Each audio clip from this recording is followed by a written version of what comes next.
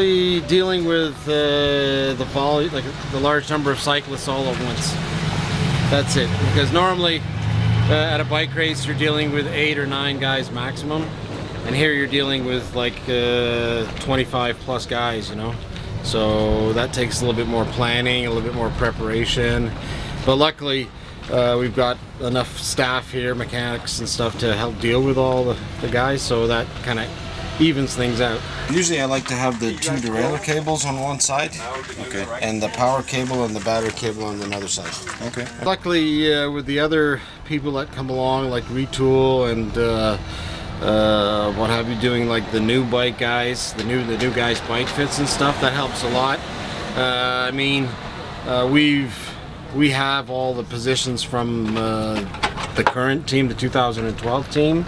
We recorded all of those before from their last race bike uh, that we hung up in Girona after the season. And so we just basically, that's easy to deal with. You just transfer those positions over to the new frame and the new parts, and that's very fast. But when you have like five or six new guys, especially the young professionals, guys who are coming up from the under 23 ranks, uh, they take a, it takes a little while to to for them to figure out their position and luckily we have people who are experts in that and then they just give us the numbers and uh, uh, we build the bike. Todd from Retül was very helpful. He came out and just gave us like basically just told us some numbers. And uh, we just that's what we applied to their to their bikes and everybody seems to be very happy. Luckily we have very good sponsors and uh, basically uh, the Boulder office uh, was already jam-packed with our equipment two weeks before we got there to build the the new uh, round of bikes. So yeah, no, it's no equipment, lack of equipment thereof. That's not never a problem for us, you know, which is we're lucky with that. Guys who do tour down under, um, uh, they'll fly because the bulk of them are the Australians and the Antipodeans. uh, they'll fly uh, home with uh, a spare bike and a race bike directly from here.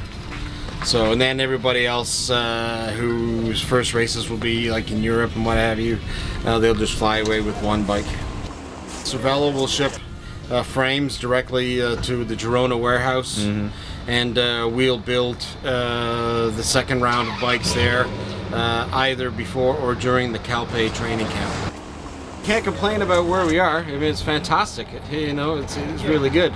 But uh, I mean, in Europe, uh, we have our big trucks and have everything, and we have the Girona service course, which is we have everything that we need there. Not that we're really missing anything here, but uh, for actual for a full-on bike build, uh, we'll probably be building somewhere in the range of probably about 40 bikes there or so. Uh, it's it, it helps a bit to to be at your main base, you know. Have the comforts of home. Exactly.